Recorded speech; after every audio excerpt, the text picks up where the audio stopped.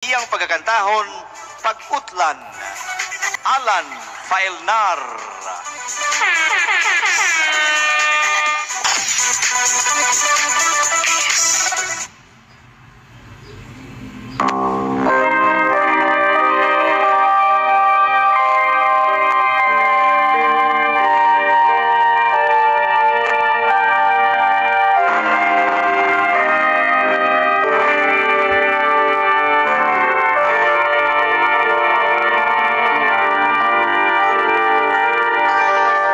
Saksi ini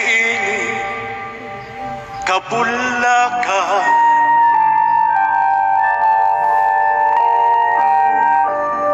Saksi ini kalanggaman